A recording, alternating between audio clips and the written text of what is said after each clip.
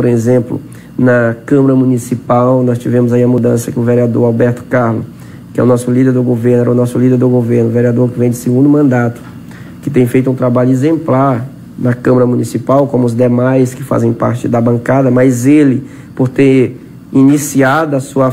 que o Alberto ele é formado em isotecnia, mas por ele ter iniciado pela Secretaria de Obra, quando eu era secretário, depois passado para a Controladoria e depois se tornado é, chefe de gabinete, e aí então candidato e eleito vereador, e ter ficado quatro anos na oposição, buscando e representando o povo, ele buscou, teve muito conhecimento.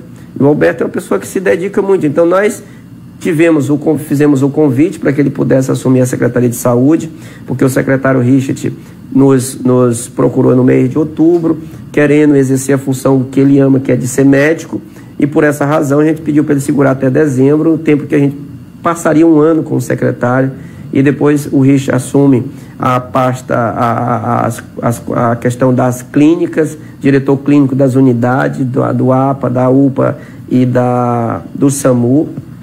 Com isso, a gente convidou o Alberto, o Alberto, conversei com ele muito e ele conseguiu aceitar e está lá já fazendo um grande trabalho também, porque eu sei do perfil do Alberto. Então teve essa mudança já no início do ano. Acredito que vai haver mais mudança lá na composição da Câmara. Acredito eu que até o final desse mês nós vamos ter mais mudança ainda na Câmara Municipal. Porque a gente é um grupo muito unido, a gente é um grupo muito consolidado. Diferencial. É um grupo que a gente senta, discute o que a gente acha melhor. Um vereador não tem oportunidade, não tem dificuldade nenhuma de dar oportunidade para outro, que é o suplente, para exercer a sua função. Está exercendo essa função lá agora, na vaga do vereador Alberto.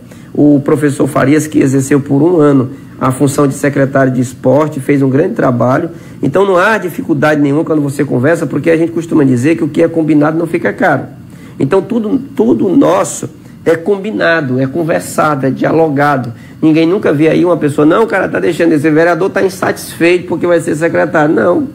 Pelo contrário, a pessoa se sente privilegiada de ter sido chamado para uma função importante que é ser secretário de saúde, como qualquer uma outra secretaria, mas a saúde é um pouco mais emblemática, e conseguir ter todo um apoio de todos os secretariados, de todos os vereadores da base, para que ele possa desenvolver um grande trabalho. E não tenho dúvida que o Alberto fará um grande trabalho à frente da pasta, porque tem uma grande prefeita que gerencia o município, tem um grande secretário de articulação política para buscar recursos para os tetos do município. Nós já provamos isso em 2021, nós conseguimos o teto máximo que tinha da MAC e do PAB para o município.